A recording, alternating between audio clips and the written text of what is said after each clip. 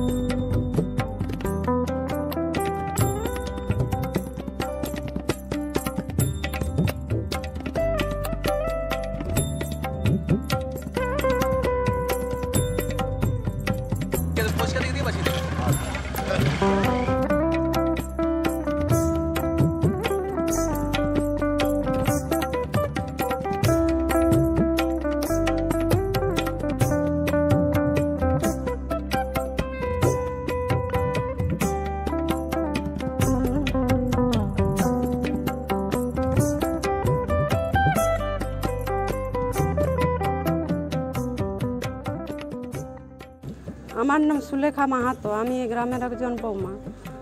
আমরা পাড়ায় পাড়ায় মহিলারা একসঙ্গে মিলেমিশে চাল পয়সা আদায় করেছি, তরকারি আদায় করেছি আর সবাইকে নেমন্তন্নও করেছি যে এই মেলায় আসার জন্য, সকাল থেকে থাকার জন্য, আর জন্য দুপুরের খাওয়া দাওয়া সব কিছুতেই নিমন্ত্রণ করা হয়েছে পাড়ার লোকেদের।